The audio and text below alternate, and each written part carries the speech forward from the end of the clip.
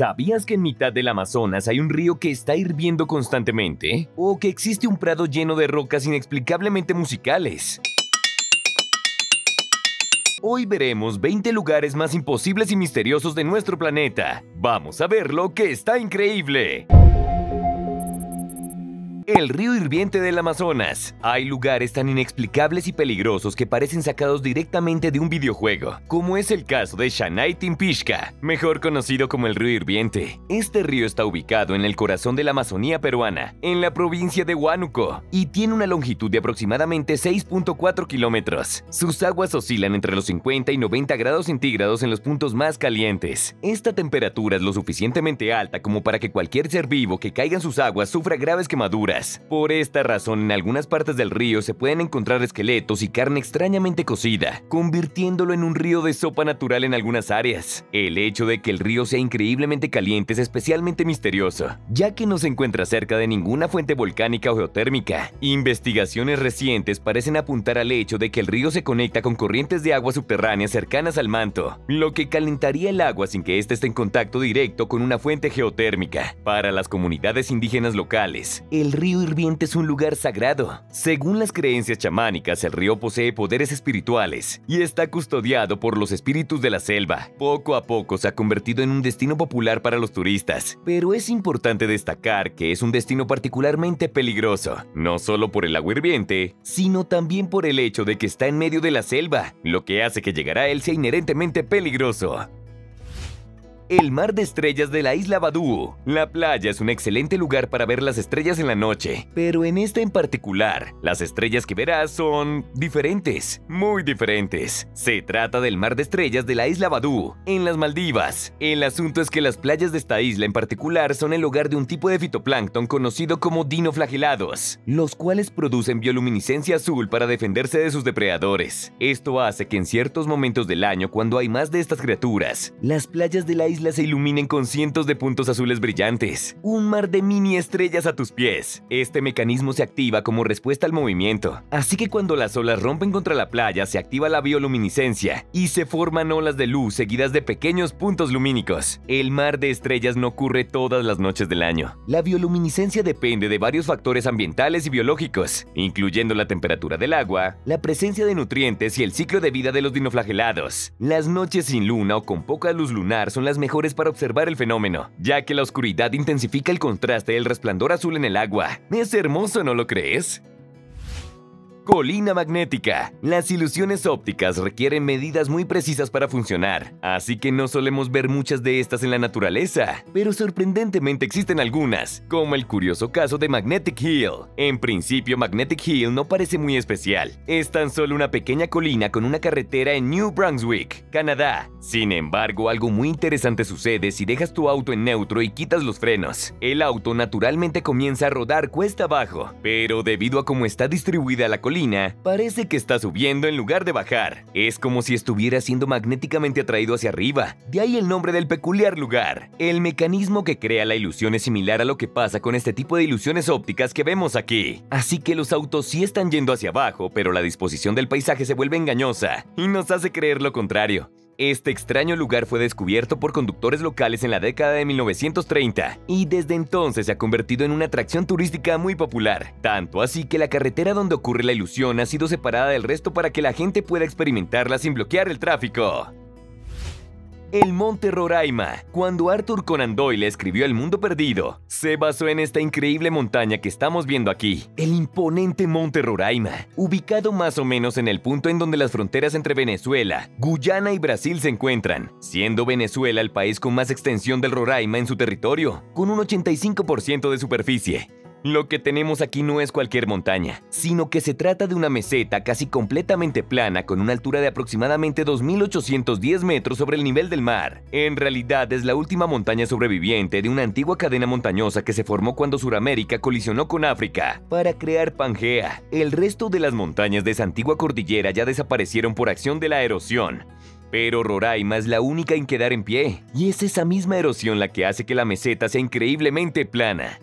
Si bien el monte no tiene dinosaurios como en el mundo perdido, sí tiene una increíble biodiversidad, con muchas especies de plantas y animales endémicos. La altitud y los riscos pronunciados de la meseta han aislado la fauna y flora por millones de años, creando un ecosistema totalmente aparte del resto de Sudamérica. Muchas de las especies que viven aquí son versiones primitivas de especies sudamericanas, e incluso hay un par de especies de ascendencia africana que han sobrevivido en el Roraima, desde las épocas cuando Sudamérica y África estaban conectadas. Según la mitología de los pueblos indígenas locales, el monte es el tronco de un árbol gigante que sostenía toda la vida del mundo, hasta que fue derribado desencadenando que la vida se esparciera por todo el mundo corredores de nieve de Tateyama. Algo de lo que no muchos conocen sobre Japón es el hecho de que algunas de sus provincias más septentrionales reciben cantidades gigantescas de nieve todos los inviernos. De hecho, la cantidad que cae en estas zonas a veces puede superar la de lugares como Siberia o Canadá. Y esta caída desmesurada de nieve crea algunos de los paisajes más impresionantes del mundo, como es el caso de los corredores de nieve de Tateyama. Cada invierno esta región recibe intensas nevadas, con acumulaciones que pueden superar los 20 metros de altura en algunas áreas. Cuando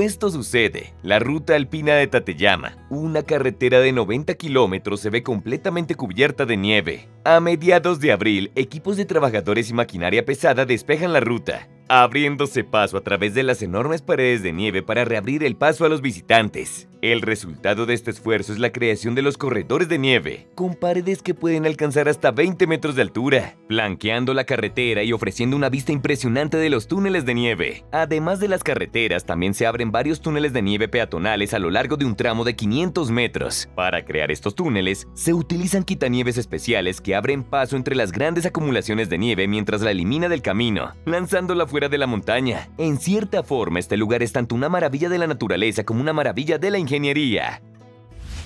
Las rocas musicales de Pensilvania. Esto que vemos es un afloramiento rocoso conocido como las Ringing Rocks, en el estado de Pensilvania, Estados Unidos. Abarca aproximadamente 3,5 hectáreas y está compuesto por grandes rocas de diabasa, un tipo de roca ígnea, están distribuidas en una especie de manto que cubre el suelo, creando un paisaje surrealista. Geológicamente hablando, este afloramiento rocoso no debería estar allí, ya que se encuentra en medio de un bosque llano, y no hay en las cercanías ninguna montaña o precipicio desde el cual estas rocas pudieran haber caído. Sin embargo, lo que realmente hace especial este lugar es que la mayoría de las rocas en el camino suenan como metal cuando las golpeas con un martillo común, creando un efecto de sonido similar al de una campana o un gong. No se sabe con certeza por qué ocurre este efecto sonoro, pero algunas teorías sugieren que la sonoridad puede estar relacionada con la estructura interna de las rocas y que tienen una sorprendente composición metálica y una tensión interna que les ayuda a resonar. Y claro, acá te mostramos cómo suena. Es más, las propiedades sonoras de estas rocas son tan afinadas que se encuentran las correctas. Puedes hacer tonos musicales simples y tocar melodías sencillas como esta de aquí.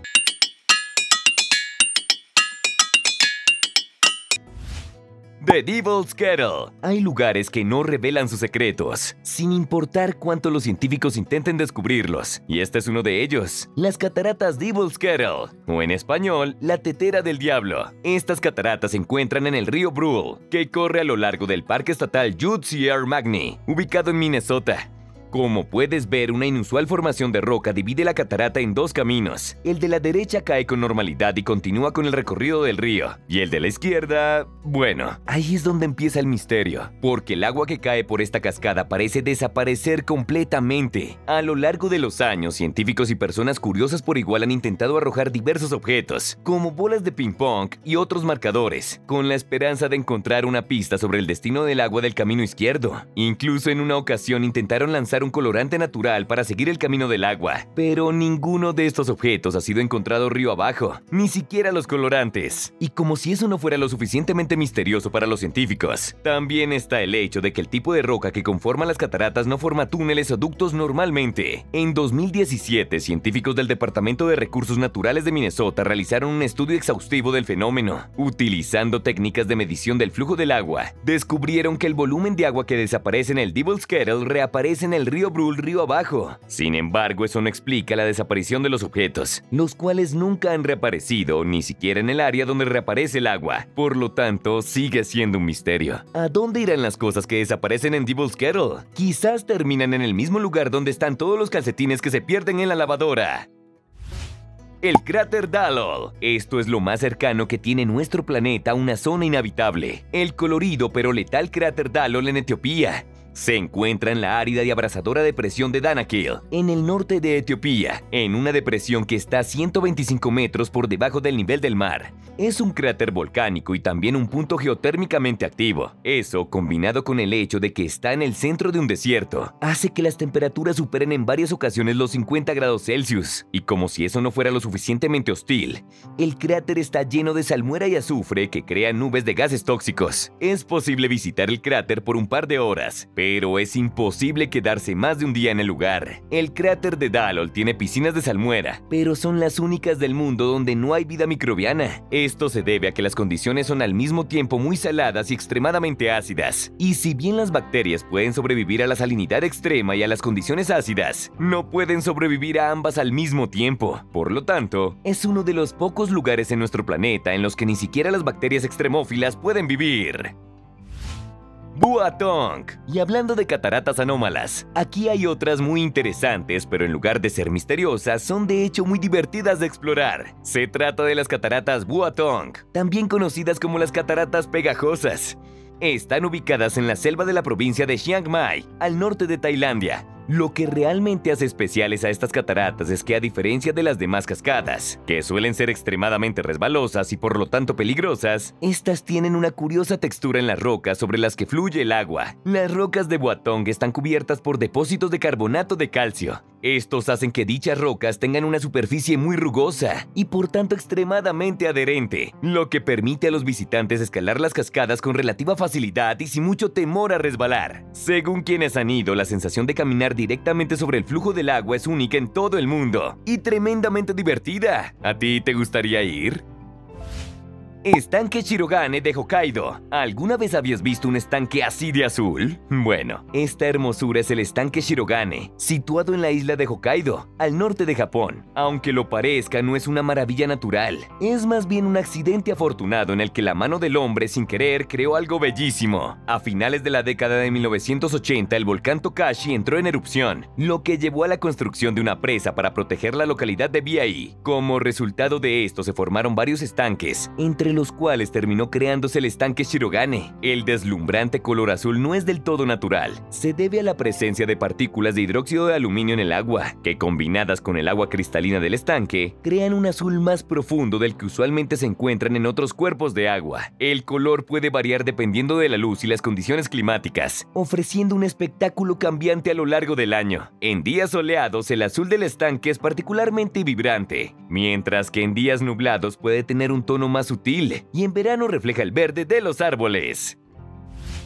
Las montañas arcoíris de Perú. Y hablando de montañas increíbles, te presento a la montaña Vinicunca, mejor conocida como la montaña de siete colores. Difícilmente encontrarás un paisaje montañoso más colorido que este. Pero, ¿por qué hay tantos colores en una sola montaña? Esto es causado por la formación misma de los Andes, ya que en cierto punto el alzamiento de la cordillera expuso las distintas capas de sedimento, y cada una de estas toma un color distinto al oxidarse con el aire. Los rojos y rosados son óxidos de hierro, el verde viene de compuestos de el amarillo y ocre vienen de sulfuros de hierro, el blanco de rocas areniscas y cuarzo, y finalmente los marrones y violetas son una mezcla de limonita y arcillas ricas en óxidos de hierro. La colorida montaña está situada en el departamento de Cusco. Tiene una altura de 5.200 metros sobre el nivel del mar, y para llegar a ella es necesaria una caminata muy exigente. Así que si quieres visitarla tienes que estar preparado físicamente y tener en cuenta el mal de montaña, o soroche que puede darte debido a su gran elevación.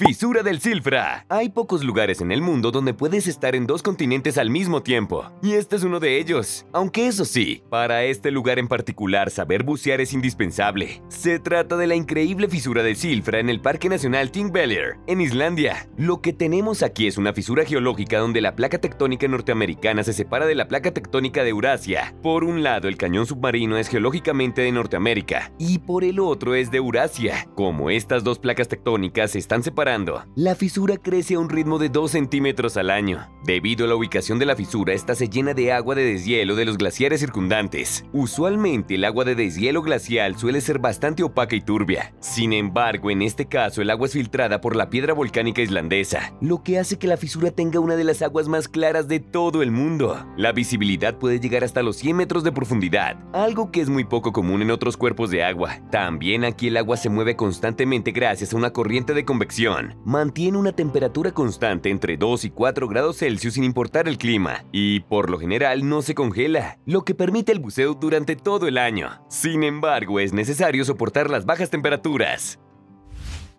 El agujero azul de Belice. Esta solía ser una de las cuevas más grandes del mundo, pero al colapsar se convirtió en algo aún más espectacular. Situado en el Mar Caribe, cerca de la costa de la isla de Andros en el archipiélago de las Bahamas, el agujero azul de Belice es un sumidero submarino, es decir, un enorme agujero en forma de cráter que convierte una zona de aguas poco profundas en un pequeño abismo autocontenido. La historia del agujero azul de Belice se remonta a la última glaciación. En aquel entonces el nivel del mar era mucho más bajo y lo que actualmente es una zona de aguas poco profundas era una isla que coincidentemente tenía un gigantesco sistema de cavernas. No está muy claro qué tan grandes eran estas cavernas, pero lo cierto es que al terminar la última glaciación y al subir el nivel del mar, la isla se inundó y el paso del agua colapsó el techo de la caverna, creando un sumidero circular con profundidades de más de 202 metros y un diámetro de aproximadamente 300 metros. Las paredes del agujero descienden casi verticalmente, lo que contribuye a la claridad y el intenso color azul de sus aguas. El lugar es un microcosmos único de vida marina, ya que el abismo es perfecto para muchas especies de corales que a su vez le dan hogar a una rica variedad de especies marinas, incluyendo tiburones, pargos y anguilas. Después de los 90 metros de profundidad, se forman condiciones anóxicas en las que ningún ser vivo puede sobrevivir, pero que sirven para la preservación de fósiles marinos y otros materiales orgánicos, proporcionando una ventana al pasado y ofreciendo valiosa información para los científicos sobre los cambios climáticos y ambientales a lo largo de miles de años.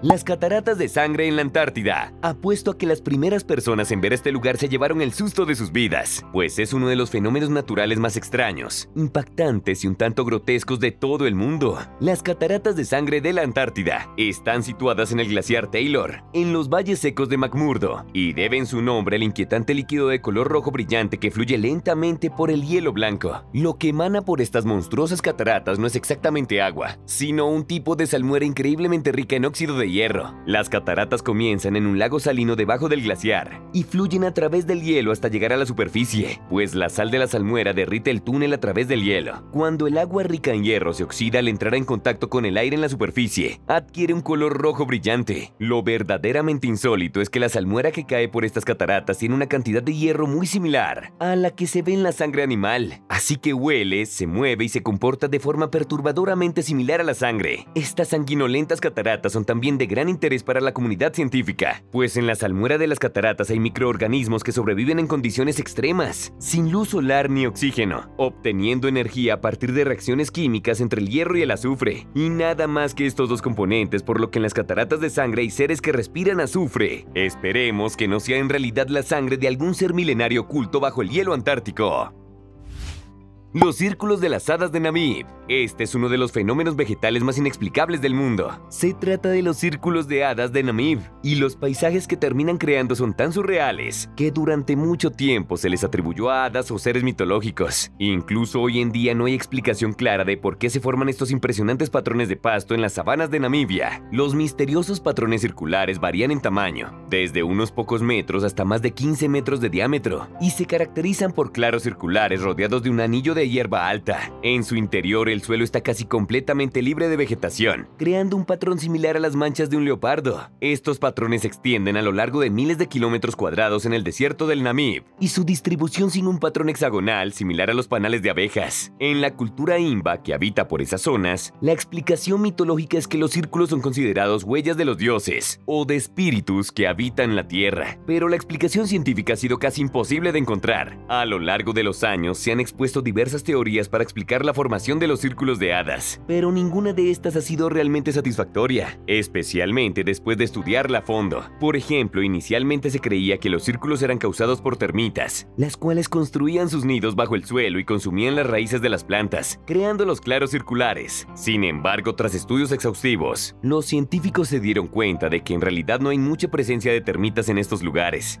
Otra teoría propone que los círculos de hadas son el resultado de la competencia entre las plantas por los escasos recursos hídricos del desierto. Las plantas en los bordes del círculo tienen acceso a más agua, mientras que las del interior no pueden sobrevivir debido a la intensa competencia, creando así los círculos para aprovechar mejor la poca agua que cae en los desiertos de Namib. Esta es la teoría más aceptada, pero aún no se ha probado del todo. San Marcos, la capital de las sirenas. A veces un lugar que ya es impresionante se vuelve aún más increíble por la intervención humana. Y este es un perfecto ejemplo de ello. El río de San Marcos, en Texas, mejor conocido como la capital de las sirenas. El río fluye en el centro del estado de Texas y es alimentado por varios arroyos que nacen en acuíferos subterráneos en lugar de montañas. Esto junto con el flujo constante hace que las aguas del río sean impresionantemente claras y mantengan una temperatura cómoda de 22 grados centígrados por todo el año. Por supuesto, esto atrae a grandes poblaciones de plantas acuáticas y salamandras, así como a miles de visitantes humanos. De hecho, el área alrededor del río ha sido habitada constantemente desde que los humanos llegaron a América del Norte. A lo largo del río y sus lagunas circundantes, hay varios parques y reservas naturales, siendo los más importantes el Parque Acuático Río Vista y el Parque Estatal Spring Lake Preserve. Algunos afluentes y lagunas del río son sagrados para las tribus nativoamericanas de la zona. Lo interesante es que en los últimos años ha surgido un festival anual de nadadoras que se visten con trajes de sirena para celebrar el mítico río, creando imágenes que parecen sacadas de un cuento de hadas. Racetrack Playa, el Valle de la Muerte en California, es uno de los lugares más inhóspitos del planeta. Las temperaturas son tan altas y el agua es tan escasa que en algunas partes de este monstruoso lugar, el paisaje se parece más a Marte que a cualquier otro lugar en la Tierra. En medio de este yermo se encuentra uno de los misterios geológicos más grandes del mundo, las piedras deslizantes de Racetrack Playa. Esta es la cuenca completamente seca de un antiguo lago, situado a unos 1130 metros sobre el nivel del mar. Su superficie tiene aproximadamente 4.5 kilómetros de largo y 2 kilómetros de ancho, y en ella hay una serie de enormes piedras que aparentemente se mueven por sí solas a través de la superficie del lecho del lago, pues detrás de las piedras hay rastros en el sedimento como los que vemos aquí. Pero claro, las piedras no se mueven, y no hay nada o nadie en el Valle de la Muerte que pueda moverlas. Así que, ¿qué está pasando aquí? Pues bien, fue un completo misterio hasta el año 2014, cuando un equipo de investigadores liderado por Richard Norris y su primo James Norris finalmente desvelaron el misterio mediante la utilización de GPS y cámaras de time-lapse. Resulta que muy ocasionalmente llegan lluvias al lago seco, formando una capa de agua durante las frías noches de invierno. Esta agua se congela formando una capa delgada de hielo en la superficie, y cuando el sol comienza a calentar el hielo, se agrieta y fragmenta en grandes placas flotantes. Con la ayuda de suaves vientos, estas placas de hielo empujan las piedras, deslizándolas sobre la superficie fangosa y dejando rastros a medida que avanzan. Esto sucede a un ritmo de una vez cada 50 años, pero como el clima del Valle de la Muerte es estático, la mayoría de los rastros quedan plasmados para siempre. Gruner. Creerías que el último lugar en el que encontrarías a un buzo profesional sería en las montañas de Austria, pero te sorprenderías de la cantidad de buzos que puedes encontrar en este parque alpino. Estamos hablando del Gruner Sea, ubicado en la región montañosa de Estiria, en Austria. Este lugar sufre una enorme transformación todos los años, pues pasa de estar totalmente seco a convertirse en un lago glacial de aguas casi completamente cristalinas. El fenómeno ocurre cada primavera, pues a medida que la nieve de las montañas se derrite, el parque se va inundando hasta crear un lago que puede alcanzar hasta 10 metros de profundidad, sumergiendo senderos, bancos, árboles y prados bajo una capa de agua tan clara que se puede ver hasta el fondo. La increíble claridad del lago se debe a que el agua proviene del deshielo alpino, que es naturalmente filtrado a través de la roca caliza de la montaña, lo que le da su distintivo color verde esmeralda. Eso sí, es todo un reto para los buzos, ya que las aguas del lago tienen una temperatura de entre 4 y 8 grados centígrados, incluso durante el verano. Por lo tanto, si quieres bucear aquí, tienes que lidiar con el frío extremo. Aunque para ver paisajes sumergidos tan hermosos como estos, yo también me aguantaría las aguas heladas. Las grutas de Longyou. Imagina que estás realizando un trabajo diario y de repente, por pura casualidad, encuentras uno de los misterios arqueológicos más grandes de tu país y quizá del mundo entero. Bueno, eso es precisamente lo que ocurrió con las misteriosas grutas de Longyou, en China. En el año 1992, en la región de Zhejiang, un granjero local decidió drenar un estanque cercano a sus tierras de cultivo para expandirlas y utilizar el agua en otras partes. Sin embargo, al finalizar el drenaje, descubrió una vasta caverna artificial de la que no había registro arqueológico alguno. Tras el descubrimiento inicial se encontraron otras 23 cuevas, todas conectadas en una zona de aproximadamente un kilómetro cuadrado. Las grutas estaban finamente decoradas con patrones y altorrelieves de una antigua civilización, de la que no se tenía ningún registro. No se han encontrado inscripciones, artefactos o restos humanos que den pistas claras sobre el uso que se le daba a las cavernas. Además, no hay mención alguna de estas cavernas en ningún registro histórico, por lo que no se sabe a ciencia cierta quién las construyó ni con qué fin. Las cuevas están esculpidas con tal exactitud que se asemejan a trabajos realizados con herramientas modernas, pero se cree que tienen más de 2000 años de antigüedad, lo que plantea interrogantes sobre las técnicas y herramientas utilizadas por los constructores de la época. Se estima que para lograr crear una cueva de esta magnitud, se habrían requerido al menos mil personas trabajando día y noche por varios años para siquiera excavar una de estas cuevas.